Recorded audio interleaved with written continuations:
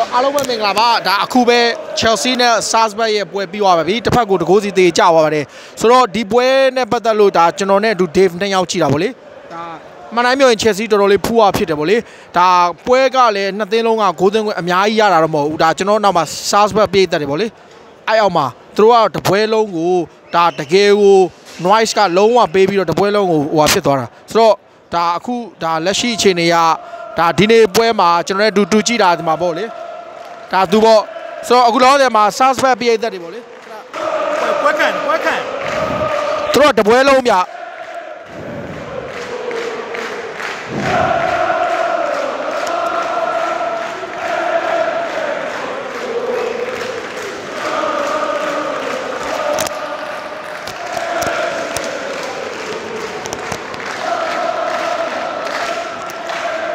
ဆိုတော့ဒါကတော့ကျွန်တော်နောက်မှာ SARS ဘက်ပေါ့လေဆိုတော့အခုဒီပွဲပေါ်ကိုဒါဘယ်လိုမြင်လဲဒါကျွန်တော်တို့နှစ်ယောက်ကြည့်တယ်ဒီပွဲပေါ့ဂရီယန်ပေါ်တာရဲ့ပထမဆုံးပွဲဆိုတော့လည်းမစိုးပါဘူးဒါပေမဲ့ဘယ်လိုပဲပြောပါဟိုအခုတူချဲလက်ထက်နဲ့တောက်လျှောက်ချားနာသွားတဲ့နေသားမှာတော့ကျွန်တော်တို့ကွင်းလယ်မှာရောကျွန်တော်တို့နောက်တန်းမှာရောကျွန်တော်တို့နောက်ပိုင်း4 back နဲ့မြင်ရဒါပေမဲ့တကယ်တမ်း in game မှာ3 back ပြန်ဖြစ်သွားတယ် ကွင်းလယ်ကတော့ကျွန်တော်အနေနဲ့အားမရသေးဘူးရှေ့တန်းနဲ့ကျွန်တော်နောက်တန်းနဲ့ရှေ့တန်းကူးပြောင်းတဲ့ချိန်မှာတော်တော်လေးအားမရတဲ့ချက်တွေရှိတယ်ဒါဘယ်လိုပဲပြောပါကျွန်တော်တို့အကောင့်တွေဘက်ပဲလာဖို့လည်းရှိပါတယ်ဒါကြောင့် Chelsea အနေနဲ့လည်းကျွန်တော်တို့နောက်တစ်ခစ်ပေါ့ခစ်တစ်ခစ်ပြန်ပြီးတော့လာဖို့ရှိပြီးတော့ကျွန်တော်တို့ယူဆပါတယ်အဲ့တော့ကိုချမ်းဘယ်လိုမြင်လဲဒီပွဲကျွန်တော်အမြင်ပေါ့လေဒါနှစ်သင်းလုံး chance အများကြီးရတာမဟုတ်ဘူးဗျ Chelsea ဆိုလည်းတစ်လုံးပဲဗျ reach chain လွတ်သွားတဲ့တစ်လုံးဗျသူတို့ cross ထောင်လိုက်တယ် အဲ့လိုတစ်လုံးပဲရှိတယ်ပြီးတော့ပထမပိုင်းမှာကျွန်တော်မှတ်မရမေဆန်မောက်တစ်လုံးအပိုင်ကန်းရတယ်ဒီလောက်ပဲဗျ Salzburg ကကျွန်တော်မှတ်မရ cross နဲ့ခေါင်းတိုက်လိုက်တာတစ်ချိန်ရတယ်ပြီးတော့ Sesco တစ်လုံးကန်တယ်နောက်တစ်ခုကဟိုပါပေါ့ဒီ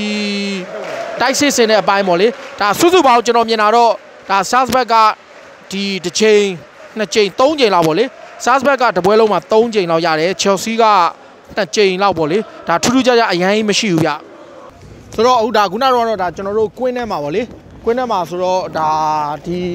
လာလုံညွေးတွေကကျွန်တော်တို့နင်လွတ်နေနင်လွတ်နေလို့ဒါအခုထွက်လာတာပေါ့ဆိုတော့အခုပွဲကအမှန်တိုင်းပြောရင် Chelsea ကလည်းဒါထိရောက်တဲ့ခွင့်ရေးအများကြီးမရဘူးဗျာကျွန်တော်မှတ်မရဒီဘယ်လိုပြောမလဲတိုက်စစ်အဲအားလိုတာဗောတိုက်စစ်နိုင်ရတယ်နောက်တစ်ခုကဒီမိတ်ဆန်မောက်တစ်လုံးကန်တယ်နောက်တစ်ခုကဒီ တစ်ဖက်က Rhyme Sterling ဂိုးသွင်းခွင့်ရတယ်ကျွန်တော်နားမလဲတာဘာကြောင့် Ruben Loftus-Cheek ကိုထည့်တယ်အဲ့အဲ့ Loftus-Cheek ကိုနီးပြတွေတော်တော်များကြိုက်တယ်နော် training မှာဒီကောင်နီးပြတွေကိုဘာတွေများသူပေးဆက်ထားလဲမသိဘူးဗျာနီးပြတွေတော်တော်ကြိုက်တယ်ဗျာ तू ဝင်လာတဲ့ချိန်မှာဗျာသူရှိရတယ်ကျွန်တော်ဘာမှလည်းမရဘူးဟိုနောက်တစ်ယောက်ကဒီဇီးရက်ပဲဇီးရက်ကလည်းဝင်ဝင်လာတဲ့ချိန်မှာလည်းတော်တော်လေးဆွဆွဝါဝါပဲအခုဒါ လက်ရှိကျွန်တော်တို့ပြောရလေဒီဥစ္စာမှာ Chelsea ကနည်းနည်း struggle ဖြစ်ပြီဘာလို့လဲဆိုတော့ဟိုဘက်က AC Milan နိုင်သွားတယ်ဗျာ AC Milan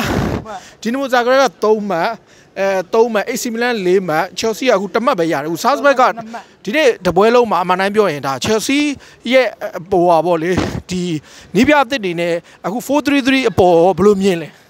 433ဆိုပေမဲ့တကယ်တမ်းကွင်းထဲမှာကစားတဲ့အချိန်ကျတော့3ဘက်ပဲပြန်ဖြတ်သွားတာပဲကူကူရဲလာဆိုဒီနေ့တစ်နေ့လုံးမှာသူ့အနေနဲ့ set ကိုကိုထိန်းရတယ်ပြီးတော့နံပါတ်6ဝင်လာတော့နံပါတ်6ဝင်ရနံပါတ်6ထိန်းရတယ်ပေါ့နော်အဲ့တော့ကူကူရဲလာအနေနဲ့တိုက်ဆက်ကိုပဲကူလို့မရဒါပေမဲ့ပြဿနာကဘာဖြစ်လဲဆိုတော့ Chelsea ရဲ့တိုက်ဆက်အားပဲ Chelsea ရဲ့တိုက်ဆက်အားကဘာမှမရှိဘူးပေါ့ပြောရမယ်ဆိုရင်ဥပါမီယန်အနေနဲ့သူ့အနေနဲ့အခုလောလောဆယ်ဟိုတိုက်ဆက်မှုအနေနဲ့လောက်တာမှန်တယ်ဒါပေမဲ့ Chelsea ဘက်ကနေပြီးတော့ပံ့ပိုးမှုလည်းအားနေတာပါလို့တိုက်ဆက်မှလည်းအဆုံးသက်တော်တော်လေးအားနေလို့ကျွန်တော်တို့မြင်တယ်ကိုချမ်း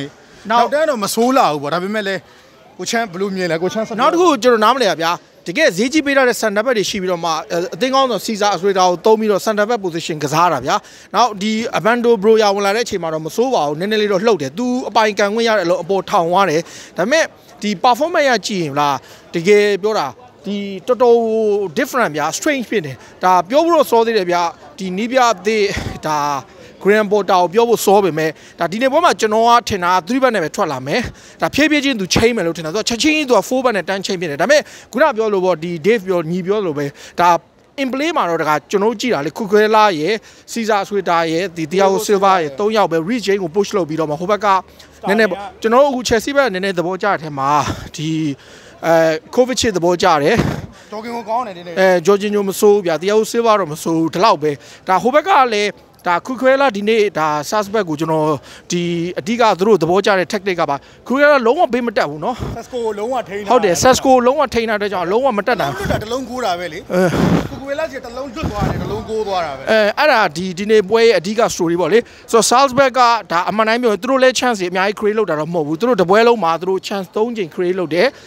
3 3ချိန် create လုပ်တယ်အကုန်လုံးကို shoot target ဖြစ်တယ်တကူဂိုးသွားတယ်ဒါ Chelsea ကအရင် create လုပ်တဲ့အပိုင်းပေါ့အရင်နဲ့မကွာဘူးပွဲကအမှန်တိုင်းပြောရင် average game ပဲဒါဒီဘယ်လိုပြောမလဲမနေ့က Liverpool ပွဲကမှနည်းနည်း Liverpool ကတတိုင်းတိုင်းဖိသေးတယ်လေတော့အခုလက်ရှိအချိန်တွေကဒါ Chelsea အနေနဲ့ဒါဒီနေ့ပွဲဒါတေကျသွားတာတော်တော်လေးတော့အုပ်စုထဲမှာနည်းနည်း danger ဖြစ်သွားပါဗောလေမီလန်နဲ့အိမ်ဝင်ဝေးခွင့်လည်းကြံသေးတာဟုတ်တယ်ဒါနောက်တစ်ပွဲ AC Milan နဲ့အိမ်ဝင်ဝေးပဲအဲ AC Milan ရဲ့အနေထားအခုလက်ရှိဒီအုပ်စုမှာဆို Chelsea တော့ AC Milan ကပြောရမယ်ဆိုရင်ကျွန်တော်တို့အခုလောလောဆယ်မှာ AC Milan ကျွန်တော်ခုနကျွန်တော် Dynamo ပွဲကြည့်နေလို့ပေါ့ Dynamo ရဲ့ highlight တွေကြည့်ရှင်မှာ AC Milan ကတော်တော်ကြီးကို attacking အဖြစ် threat အဖြစ်တကယ်တကယ်ကောင်းတယ် Chelsea အနေနဲ့ကရင်ဆိုင်မယ်ဆိုရင်တော့ဒီထက်ပိုကောင်းတဲ့အနေထားတော့တော်တော်လေးလိုရတယ်ဒါပေမဲ့ Chelsea မှလည်းအခုနှစ်ပတ်လောက်သူအနေနဲ့ prepare လုပ်ဖို့ရှိတယ်ဒါပေမဲ့ AC Milan လိုအသင်းမျိုးကတော့ကျွန်တော်အရင်တော့ AC Milan မဟုတ်ဘူးကျွန်တော်အခုနောက်ပိုင်း AC Milan ကျွန်တော် Rafael Leo တို့ Tonali တို့ကျွန်တော် Giroud တို့အသင်းကတော်တော်ကြီးကိုကောင်းလာတယ်လို့ပဲပြောရမယ်အဲ့တော့ Chelsea အနေနဲ့ဒီအုပ်စုကတက်ချင်တယ်ဆိုတော့ AC Milan နဲ့အိမ်ဝင်းဝင်းဝင်းနှစ်ပွဲမှာအနည်းဆုံး3မှတ်3မှတ်4မှတ်ရမှာရမှာဟုတ်တယ်ကျွန်တော်အမြင်ပြောလေမီလန်နဲ့နှစ်ပွဲကိုကျွန်တော်၄မှတ်ရဖို့လိုတယ်အဲ့ဒါမှပဲသူတို့ Southbank ကိုသူတို့အဝေးကွင်းမှာ draw လောက်ကန်ပြီးတော့ဒီတစ်ဖက်က